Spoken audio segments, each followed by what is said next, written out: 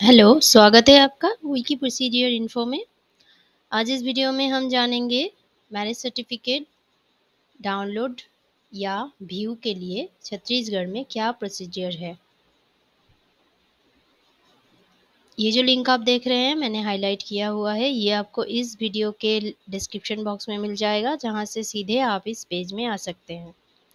Page में आते ही आपको टॉप लेफ़्ट कॉर्नर में एक लैंग्वेज टैब दिखेगा, जिसमें क्लिक करके आप अपने सुविधा अनुसार भाषा का चयन कर सकते हैं।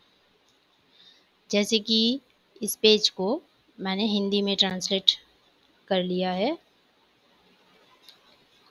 आप देख सकते हैं, सारी जानकारी हिंदी में आप देख सकेंगे।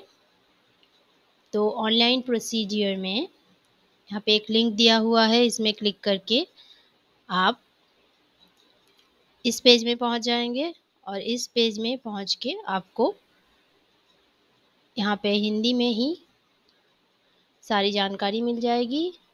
ये विवाह पंजीकरण एवं हाँ, प्रमाण पत्र के लिए है तो इसमें आपको लॉगिन करना होगा।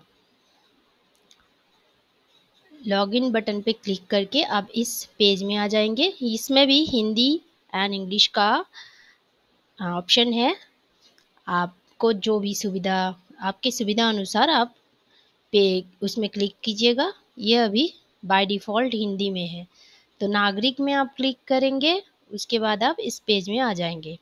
यहाँ लॉगिन ऑप्शन है।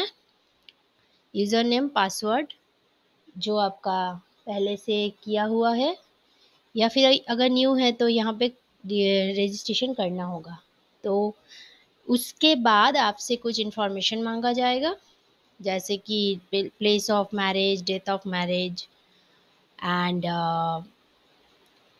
आपका नाम रजिस्ट्रेशन नंबर वगैरह, वो सब कुछ देने के बाद आपको डिटेल्स देने के बाद आपको मैरिज सर्टिफिकेट आप मिल जाएगा देखने के लिए और उसके बाद आप डाउनलोड ऑप्शन में क्लिक करके उसको डाउनलोड भी कर पाएँगे इस प्रोसीडियर में।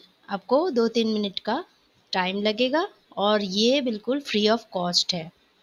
तो आज के लिए बस इतना ही इस वीडियो में। अगर आपको वीडियो पसंद आया है तो एक लाइक कर दीजिएगा।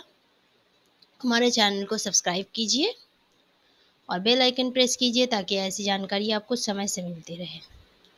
धन्यवाद।